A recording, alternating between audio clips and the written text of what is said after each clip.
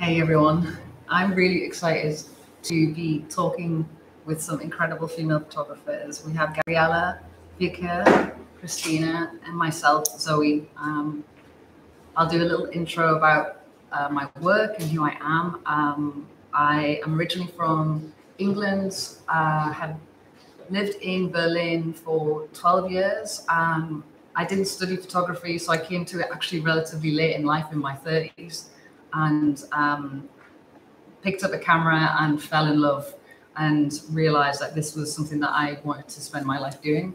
Um, so, yeah, since picking up that camera, I took a really long journey to get to where I am, tried lots of different kinds of photography and discovered portrait photography and really fell even more in love. Um, being able to connect with other people and share their stories in a visual way was uh, a wonderful thing. So I've been doing that for maybe 12 years now um, and uh, talking about the things we're going to talk to you about today are really important to me representing women in a positive way and uh, showcasing such incredible series like Wika is doing um, is so important. And yeah, I'm really excited to talk to you all about it. Kristina? I'm also really excited and happy to be here to have a chance to discuss this very important subject uh, on women breaking boundaries and representing women and female bodies and um, subjects like that. I do also portraiture work. Um, I also came to photography a bit later in life. And um, yeah, I think connecting with my subjects is also really, really important to me and sharing their stories. Sometimes it can be something quite vulnerable or intimate and getting them to trust me yeah, is really important. And the subjects that I usually share, um, I have an intention to uh, change the audience perception or perspective on certain issues. So that's an important thing that I find. Um, it's very, you know, for any artist, I think it's something that we can um, can use because we have that voice, that uh, the chance to show to a wider audience some important things that people may not see. So that's that's what I find important in my work, and I'm sure um, everyone else feels a very similar way about that.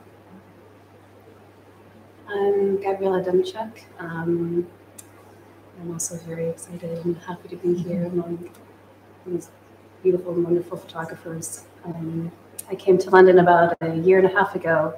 Before that, I was working as a photographer, journalist, portrait photographer in Washington, D.C. Um, for about 10 years, uh, where I was covering a lot of politics, um, a member of the White House press, traveling with the president, um, and then also covering um, the Capitol and Congress. Um, and then outside of Washington, I was working on stories around the country related to immigration um, and the environment. And at the time, what was really important uh, for myself was to try to connect what was happening in Washington um, to communities around the country, trying to show how the policies that were coming out of Washington were affecting communities, were affecting, were affecting the environment um, and, and our bodies. And so, um, so yes, yeah, so I was looking at, at these, these issues and then moved here to, to London for my master's um, where I wanted to expand my practice more spatially. Um, so I, I, just finished my master's at the uh, at Goldsmiths um, in research architecture, and so I'm now trying to understand and figure out how does one um, visualize spaces, how does one um, look at the body within a space, um, and yeah, just taking my my visual practice from there. Uh, hi, my name is Wika, and actually my uh, my my story is not as long because uh, I'm 22 years old and I came to London when I was 19. So now I'm graduating LCC uh, in photography and actually like working with uh, with uh, with femininity and uh, and the and, and body is uh, is kind of new topic to me, but that's what I picked for my final major project, and that's what I'm doing. So. Um, I was collaborating with these four uh, elderly women from Poland in the age of 63 to 70, 73. And uh, we were working, um, we, were, we were focusing of this idea of like breaking stereotypes about, about, uh, aging and, you know, female body while, and while aging. And uh, yeah, so I'm kind of new, new into that.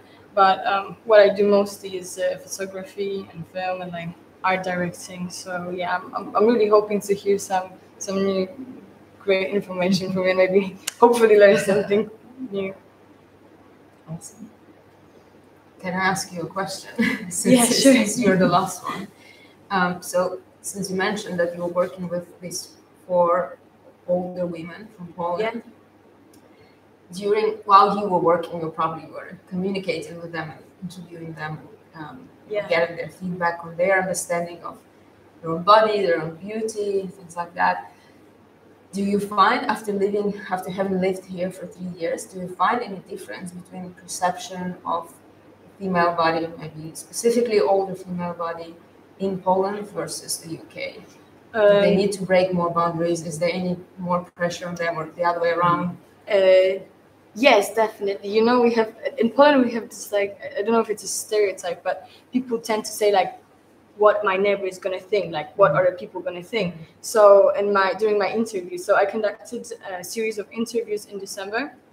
I was traveling by my car to, to four different cities and interviewing them, and then I came back again in March to make actual photo shoot, photo shoots with my crew. But in December, when I was interviewing them, uh, Miss Eva, uh, who's a who's one of the, of the of the ladies was even saying like comparing us to Germany, for example, and she was saying like in Germany, for example, it's so normal and like. Uh, and common for uh, for people to like get undressed, for example, on the beach.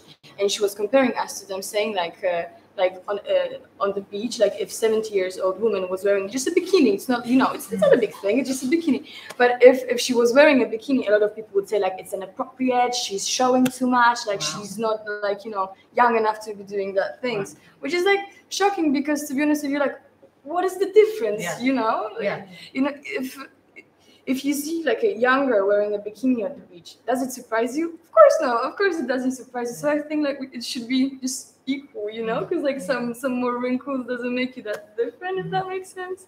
Yeah, so so I see um so I see the um, differences between like uh, I don't know about London to be honest. I think um I think I would like compare London more to, to Germany as well, or like uh, Scandinavian, where people where people just like are more um, used to nudity. I, th- I don't think it's a thing in Poland. Like it's it's normal when you're like 60, 70 that you should actually be covered. And you know, like it's even in fashion, you know, the the babushka style when they like put mm, everything. It's mm. because it's because like you know women should be covered, you know, and yeah. and yeah, we're just trying to like break it down. Yeah, I guess the, the thing in my head as a Brit is we are quite prudish you know, we don't generally want to show our skin. Um, and I, I, think I do see a lot in summer, guys will take their tops off, right? And they're walking with no top. And if a woman was, I mean, we can't, we can't take any, any our tops off. We can't do that. Um, and, you know, our bodies are the same, but ours are sexualized, obviously. Mm-hmm. So we can't do the same things that men can do. But it's infuriating sure. And interesting in Germany and Poland how close they are it, they're they're sharing a border and the different attitudes between you know nudity. Yeah. Really, really interesting. Where do you think that comes from? Is that religion mm, or uh, that's that's actually a good question and i think i i should deep it no i just think it's like hmm how to even how to even explain that yeah. i think uh, maybe it's also coming from the church maybe i should like uh, i should point it on a church because uh, like Poland is Catholic country. Uh, most of my country is Catholic, and you know it's it has been it's been like that for for hundreds of years. Uh, people just you know women had to be like covered, like had to not not be showing too much. Um, so I think it's just like. Uh, you know it's how to say it, rooted yeah. into into our society now it's actually changing i think now it's changing and now we have like women like uh, like Eva or Dorota or like you know people who I, who I was working with. But this is this is not common. It was not easy to find these women. Every time when I was asking someone if they could help me finding you know people with like my parents or like my my grandfather or whoever, everyone was like, they actually want to do it. Like Wow. uh, this is actually kind of crazy. I don't know if I can find you anyone like that. You know, so so it's not that easy to still Yeah. find that type of uh, people. They were kind of brave. I, I would have to say that Yeah. these women were were really brave. Yeah. Do you think your generation, your friends, your classmates, you react to older women expressing themselves more sort of acceptingly, Mm. like easily? Um, I think so, and that's why I did my work. You know, because like Yeah. when I'll be seventy years old, I want to wear a bikini, and like you know, yeah, damn right. and, and, if I want to, and if I want to make myself a photo shoot like that, I just want to be like you know able to do it, and that's also the reason why I, why I was doing this. So I, I genuinely think so. I think that my generation is like more more open to almost anything. I don't think that there's like uh many things which, which can shock us, like deeply Yeah. shock us, you know, because uh, obviously the internet and, and everything, we're just like kind of uh, used to it. However, I was show when I was showing um, that work to, to people from like uh, Lithuania, for example, Mm. in my uni, they still like reacted like, "Whoa, Mm. what did you do? Okay, this is controversial." This Wow. is like, so I, I see also the like uh, the differences between um, responses from like people Mm. from uh, more Western Europe and like Eastern Europe, still, Mm. which was interesting for me. Yeah. How did you? Sorry. no, I was just wondering, how did you eventually find these women, and what did they think about the project when you you talked to them about it? So, um, so two of them I found in a in a video clip of uh, Maria Peszek, who's uh, one of my favorite Polish artists. She's uh, she's feminist and she like she makes this cool you know video clips about like body and it's really controversial. In her like video clips, you can see like for example, uh, older two men in a Polish village kissing. Like you could never see. I've literally never Mhm. seen like an ima- imaginary like this. Sorry, ima- uh, you know what I'm talking about. Uh, so um, so that's where I found them, and I just thought like it's worth a shot to just like asking them if these women would like to be a part Yeah. of my project too. And they agreed, and, and, and they wanted to do it. So I was uh, I was really glad about that. And then two of them, mm, one of them is my auntie, and fourth is like uh, my family's uh, friend, or you know. Uh, what was the question again? Sorry. Oh, what did they they think about the project when you brought Uh, it to them? So I think you know it's really like sensitive topic, especially for someone who is like seventy plus to actually just like get undressed. But I was straightforward with them uh, from the very beginning, and I think that to make this type of uh, of work, we needed a time to like get to know each other, and I needed the time to like build a trust that I don't don't will like use them in like you know an appropriate way. So that's why to do it, I I, I aim to like spend some some proper time with them. You know, that's why Yeah. that's why me and my girls were like just like cooking with them and you know talking a lot. We were even drinking with some of them. They, so we, we built like that trust, and after that, um, after once we, we built that trust, it was more like a like a fun time. You know, like all together making makeup and hair, Yeah. like. It was just fun. It was just like a wholesome time to Yeah. spend. And during the photo shoot, it wasn't like a like strict photos. Like okay, we're doing like photos from like one to three, but we had like a proper day together. And like in the Yeah. meantime, we were also like eating. Mhm. We were watching films together. That was really sweet. Sounds amazing. Yeah, do you have a relationship with them after? Do you still keep in touch? Or? Yes, yes, we actually Aw, chat chat from awesome. from time to time. Yeah. Yeah, that's so cool.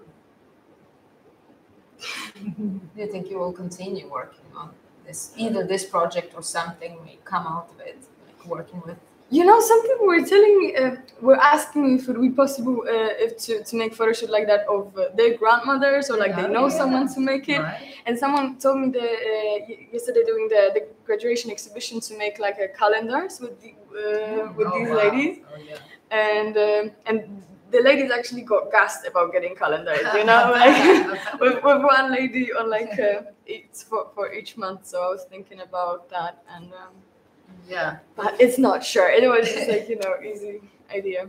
Well, we need more representation out there, right? Like series like this are so important because we women are basically invisible after the age of 40 Yes. after i guess our reproductive you know fertility is gone we're almost useless and we have no representation so series like this are so incredibly important because it shows other women that we can be whoever we want to be. We can look and dress exactly like we want to and have wrinkles and be not a size zero and be a different color and all of that. So thank you for doing something that obviously took a lot of work and you put your heart into it.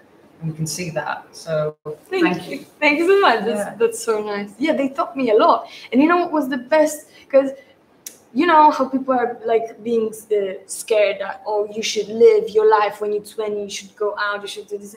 You, you know like we're being constantly scared that it's going to finish. And that, i think that's why so Yeah. many people are scared of like aging and also like they're scared of death or like scared of life and like life passing because we're constantly being told this is going to finish. Now you feel good now you're strong now you're beautiful and it's going to end. Yeah. And I, I was one of these people, you know, and each of these lady literally told me, like, Wika, you're gonna see, like, I genuinely feel the most confident now. Yeah, and it's gonna just get better. But they were telling me, like, you gotta work on that because, like, confidence doesn't also just, like, you know, No. happens. No, you should work on that. You should, like, think about yourself. So that was really refreshing, you know, that was really, Yeah. I think that's the, mm, to say it, like, the most powerful uh, message which they, which they Mm. convey Yeah. to me. I also had a similar kind of revelation with one of the women I photographed in my project, The Essence of Beauty, that features women with disabilities and just coming from different backgrounds, also different ages. And one of them, um, I think she's in her 50s, if I'm not mistaken, and her hair is all gray. And she told me that she actually didn't feel herself until her hair started turning gray Wow. then like she she said like when I was younger and she was beautiful, she even worked as a model. And she and she said like I still didn't feel comfortable in my own body. I didn't like it. And it was also quite shocking when you think like, oh, when you see someone beautiful, when you see a professional fashion model, you think, well, they are happy with their body. While everyone else is Yeah. just, you know, constantly feel ashamed of something Mhm. in themselves because we're conditioned to feel that way. Um, and then you feel someone say, "No, I didn't feel comfortable at all." Yeah. I've, I, she felt maybe more mature this whole time, Mhm. and then until she, her hair started turning gray, then she kind of finally found herself. Yeah. That was also quite Yeah, a revelation that's- for me. That's why I stopped dyeing my hair because, like, I, I was going great in my twenties, and you are told you're you have to dye your hair. You cannot show signs of aging. You cannot. You have to look young at all times. And then it's in my thirties, and I'm just thinking, this is madness. You know, why why don't I just see what is under here and shaved it all off, started again, and now I could not imagine dyeing it because it's it's my kind of visual representation that I do not care what anyone else tells me and how I'm meant to live my life. And I hope more women can kind of embrace that and realize that, you know, it- it's not going to come in a bottle, it's not going to come in, you know, all of these things that we're sold, it comes from within. Um, and I'm, I'm really hopeful of the younger generations because I think, yeah, you guys have that that strength. You you look at what's happening around you and you kind of go, I'm rejecting that, which is really inspiring. So I have a lot of hope. You know, I hope that women your age do not care what anyone tells them to look like or do and just live authentically. Mhm. So And embrace their uniqueness. Yes. Not Yeah, Try yeah. fit in certain standards or follow whatever Instagram trends. and Western standards as well. yeah, well. Western standards. Yeah. Yeah. Yeah, I hope so too.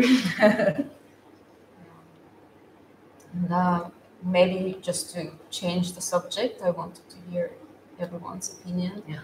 Uh, in terms of being a female artist in today's world, um, do you think you need to possess certain qualities to succeed as a female photographer, female artist? Uh, break certain boundaries? Anything from your experience that you've encountered, or yeah, any thoughts on that? I mean, everyone's on their own journey. So, you know, we're all we're all different people and and there is no one way to get to where you want to get to. Um, what worked for me was really honing in on what I was passionate about. If I could just give any advice to anyone out there, it would be do not look at what anyone else is doing. Don't pay attention to anyone else. Go inside and really, really think about what you love as a creative and what makes you excited and what you want to, how you want to leave your mark, right, with your art and your creativity. Um, and I wasted so many years uh, in this industry trying to be someone else that I wasn't, you know, trying to replicate someone else. And as soon as I realized that what makes you unique, that is actually what's going to set you apart. That's where you're going to get the jobs, the work. Um, you know, add on top of that, as a female photographer, some of the stuff is not in our control. Who's who's you know the, the, the clients who are looking at different portfolios, if they're looking at male portfolios, female portfolios, why do they make decisions? That's not in our control. So you almost have to put blinkers on, do your work, and I know, I know so many incredible female photographers. You know, people should be so lucky to have female photographers working on their projects, working for their brands, do, do, because we we work damn hard to get to where we are. It took us a lot to get to where we are, and I think that makes us extra special. Um, but yeah, I don't know about you guys. Do you? What do you think? What about you? words. I mean, I hope so. But I mean, Gabriella, you you worked. I mean, you know, f- photographing the president. You are surrounded by suits, guys. And by You know, other very- by other male photographers. Yeah, who I'm sure are jostling and you know pushing and and how do you cope? How do you Yeah. deal with that? Yeah, I mean, I think when I first started, there were moments when I was the only woman Wow. um, with other photographers, and it's all all male photographers. Um, I think there's been recently more of a push to get more women into um, photojournalism and, and more into politics and, and Washington, um, covering the president, covering um, the Capitol. Um, and so by the time I left, there were more around me. Um, but I think in those moments, it's really important to also find other women that you can talk to, um, other women who've perhaps experienced the same things as you. Um, that, yeah, you can sort of just just share your stories um, and and let you know that like no, this this isn't okay or no this is how you get through this this is how you should respond to this Yeah. um, and i think there have been women older than me that i've been able to talk to about this who've gone through it themselves and so it's been a, a way of navigating these spaces um, and then also just of, of, of trying to also um, bring people, bring other women um, together and, and support one another. Um, and really, really push to, to open um, opportunities. Yeah. Yeah. And I feel like the younger generation of um, editors, art directors, commissioning people, Yeah. they really do understand the Yes. importance of bringing in that female gaze Yeah. Mm, into the conversation, and they really push for Yeah. hiring more Mm. women. Yeah. And I'm really happy for that, especially in the past like three, five years. I can really see the shift Yeah. mhm. Yeah. yeah, but there's also been a lot of really great work that groups like Women Photograph, Yeah. Diversify, Authority Collective, like they've really been pushing to to make those changes happen and, and realizing that it's not just photographers, but it's at every level. Yeah. It is the editors, the art directors, um, people at the on the masthead Mhm. of all these places Yeah. that that need to be thinking more about who are the voices that are are working on these stories. And a lot of it as well can be you believing in yourself and your value Mhm. because I, I have women messaging me saying, you know, I don't think I can charge this for this job. And I'm telling them, you can. Yeah. Do you think a man is ever questioning whether he can charge this much for a job or saying, I can't do this? Never. But obviously, we are conditioned to doubt ourselves, not believe in ourselves, put ourselves in a box, Mhm. and we have to deprogram and believe that we are just as capable Yeah. as anyone else in the room. We can do it absolutely hands down. Um, so it's it's trying to yeah support women. I think you're right when you can have that community of other women around you who are lifting you Mhm. up. You can do anything. Yeah. Yeah.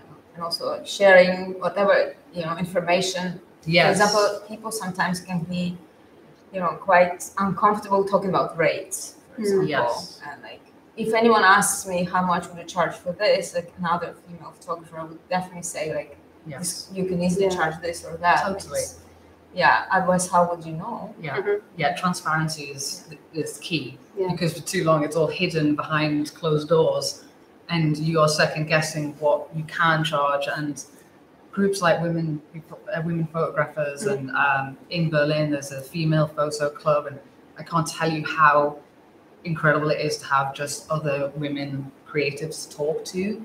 Um, and there are great guys out there, but nothing beats no, talking to someone who is going through exactly what you're going through, Yeah. right? Yeah what are your future goals when you graduate? Right, could you- Um, Can I actually add something to the question Please, which you yeah. asked? So I know it might be like a little bit like different from like what was your experience, but because um, because I think that I'm just coming from a different um, I don't know if I can say generation, but I was born pretty early. You know, I was born in 2001, and to be honest with you, as as far as I'm just starting, I'm gonna be honest, like I'm just starting still. But as far as I've been like noticing, I don't really see um, that much of a difference and I truly want to believe that as long your work is good and solid and you're confident about your work, I think that there, there's like not really much difference or like there should not be difference with, Yeah. with- between like pace because the work at the end is the Mm. is the work. So as far what what what was I experiencing? This is just my experiences. I don't really see much difference between like me and my male friends who I you know work with or study with. But maybe well I I think so. Uh, that just the word like is changing, you know, and uh, Yeah. and people like you guys, you've made the change. I think so. So um so from my point of view, for, for now we kind of like equal, but That's maybe good. That's you know good. i Yeah. hope i will not encounter like any any type of problem like that uh, Yes. like in uh, like these type of problems uh, yes so for now it's kind of equal sorry What you said was very important to say as long as you're confident. Mm. yeah That's been statistically Right. a problem that a lot Yeah. of graduates, uh, female photography graduates, don't go into photography No. or go into assisting or editing or doing something else, but not becoming photographers Yeah. just because they lack that confidence. Yes. Yeah. Yeah. okay that, Yeah. that's so pretty yeah, we should stay confident, believe in yourself, and yeah, hopefully your generation will i think it is really im- im- yes you're, you're right you're right as long as you're confident you can actually achieve that and i think that's re- I see what you're talking about um, in terms of that of that support from like uh, other women because like when I was working on that project now, uh, I've uh, I w- I've been working only with uh, with girls, but to be honest, I didn't think about any like at, at the beginning I didn't think about anything else except uh, um, like the comfort zone, you know, for my participants because they were supposed to get undressed. I just wanted them to you know feel Yeah. comfortable, obviously, but then like we just ended up working with like uh, in, in with like 10 or 11 girls and that felt like that built such like a wholesome and like you know safe space no one was actually um like uh, ashamed of anything Yeah. it built like a really nice uh, nice environment yeah so i I understand i understand as well what would you say And there's there's a um a account and a website uh, called a photo editor. I don't know if you guys have seen Yes. who shares all of the um right now he's doing a series on salaries. So photographers are approaching him with their salaries and laying out the full transparent how much they earn, how much they you know net. Um, and it is shocking because there there is there is a a large disparity definitely between male and female photographers still. And it gives me hope that your generation are, I hope, changing that. And I think, like you said, the more transparent the better, and the more information we have, better. So if you ever need, you know, a photo editor is the account to, you know, he's so helpful as well. Um, because that's what we need. We need as photographers as well, we're kind of like almost we leave university and then we're just kind of thrown out the nest, Yeah. left to fend for ourselves. We don't get really a lot of business skills. We don't. We're not taught a lot of that stuff either. Um, so it's quite an unusual industry in that way. Whereas I know my friends who are graphic designers and illustrators, uh, they get a lot more of this kind of training up to run a business. And I think a lot of photographers they don't want to think it's a business, Mhm.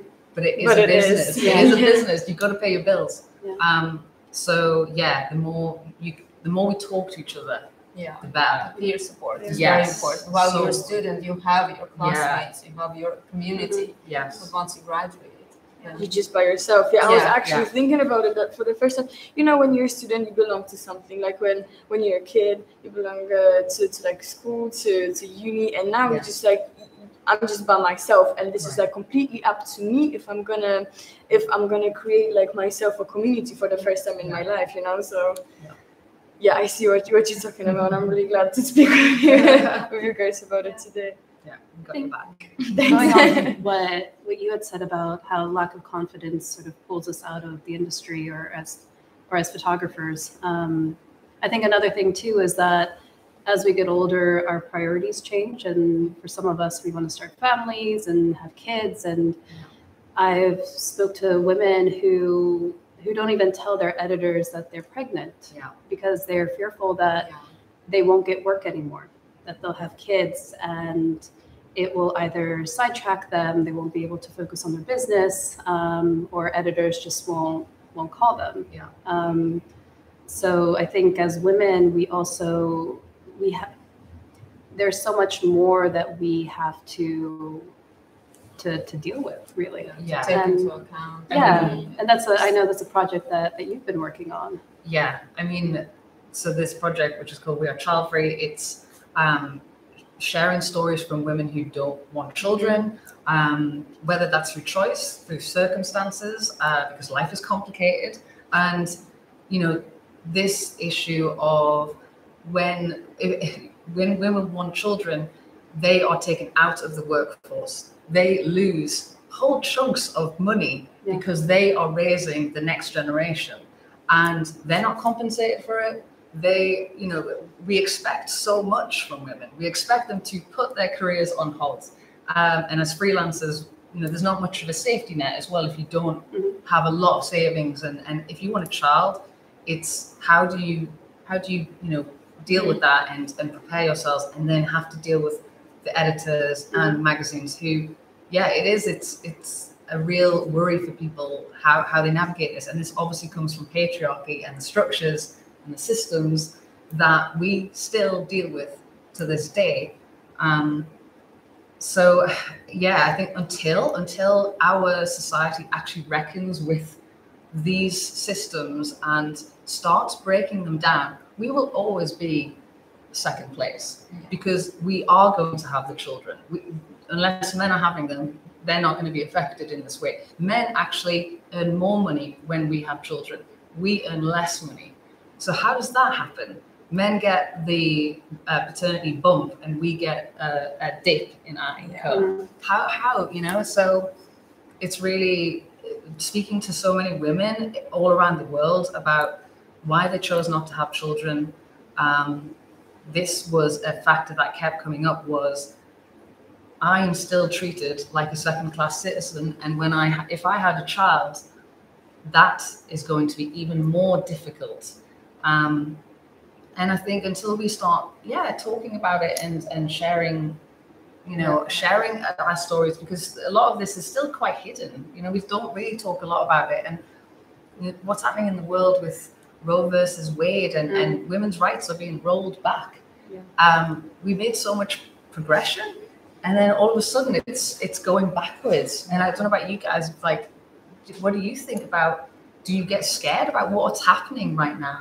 with with everything politically and Wika for you but with yeah. This is horrible because I actually to, I think it's a good time to like mention it because in Yeah. Poland at the moment like a few years ago we had this um this law which just came into um, we had this new law of like uh, delegalization of abortion completely.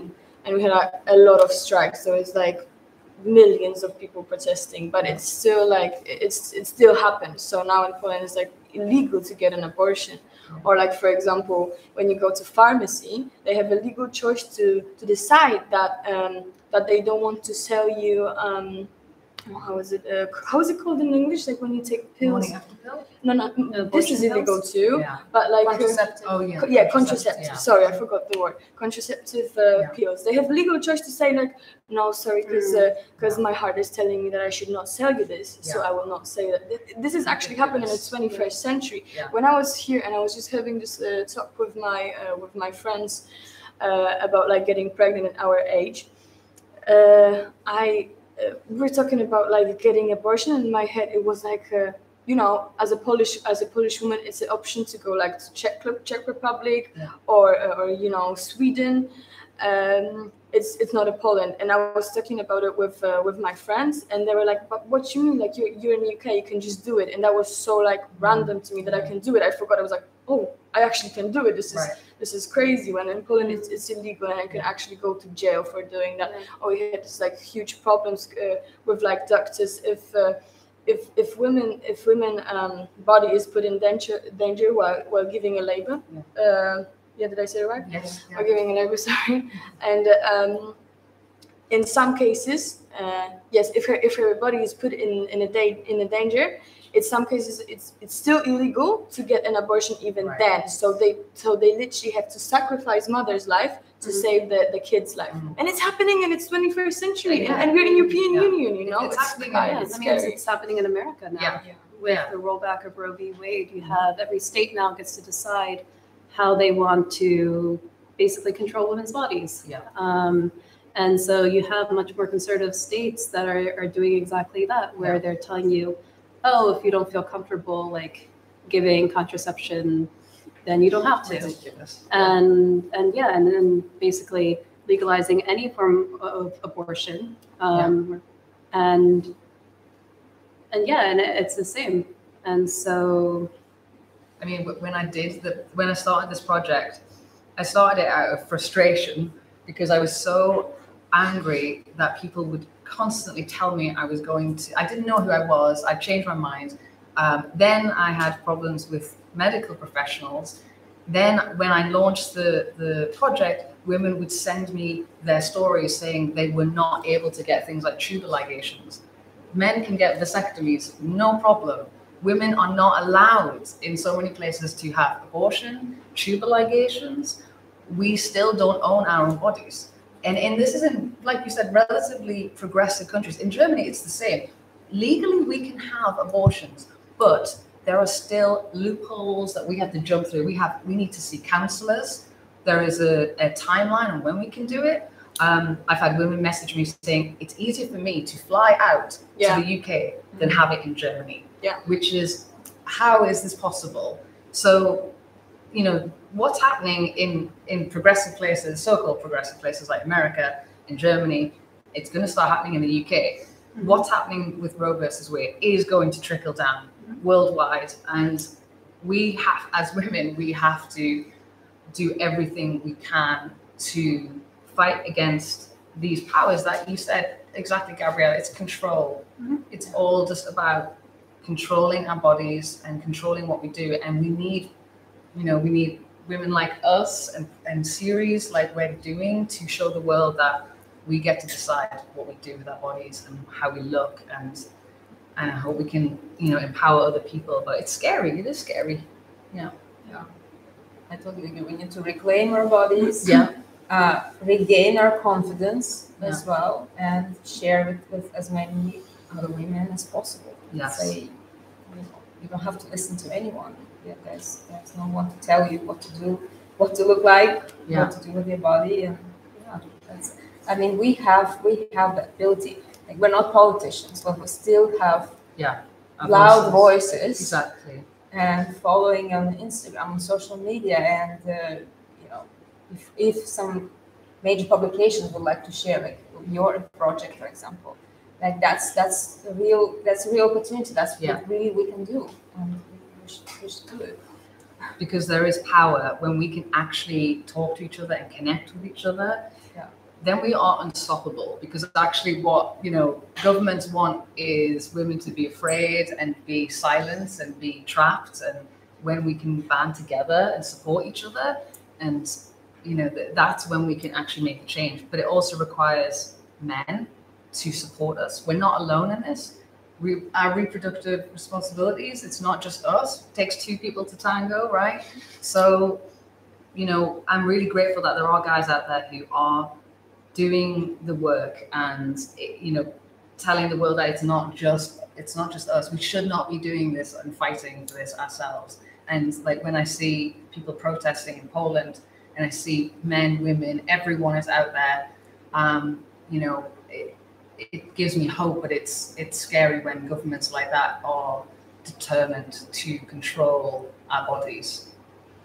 Yeah, Unfortunately, still a lot of governments are dominated by men. True. So that's another big issue. Yeah, Yeah, so hopefully we will also empower other women to maybe go more into politics or activism or yeah, things like that. That it's you know you can do it as a woman. Yeah. yeah, And it's a, it's a movement that has to happen at every level. Yeah. So not just at the political level, but it's the state, the Yeah. local, um, schools, education, also photography, journalism, editorial, like all of these things help Mhm. to like really push a movement forward. Yeah. Yeah. But has to be done at, at every, every level. and being able to give women who do want children support because th- that's what I see is that when when women do have kids, they are just left to you know in America there is no maternity. No. No. How, how you know it's ridiculous and then There's, n- there's nothing like that. no We, I mean, we have maternity leave based on where you're working. So if Yeah. you're working for a private organization, they might have it in their contract that you get X amount of time um, off when you have a child. But again, it's just really at the whim of Yeah. Every every business. Yeah. So there's no guarantee Yeah. and it costs a lot of money Yeah. as well. So if you're a freelancer, it's like Yeah, yeah, I mean, you don't have your your own boss, and so Yeah. having to figure out can you take time off when you when you have a Yeah. baby. Still It really just depends. Bills to pay and Yeah. yeah. Yeah. I had a colleague uh, when I was working teaching in New York who was also a teacher and she I don't know, I didn't count the days specifically, but it felt like just a couple of weeks she came back um, Wow. with a baby, would give a baby to some of the staff and go teach a class, which is a three hour Mm, class. yeah. Yeah. And then go back, nurse the baby, It's crazy. come teach Yeah. again.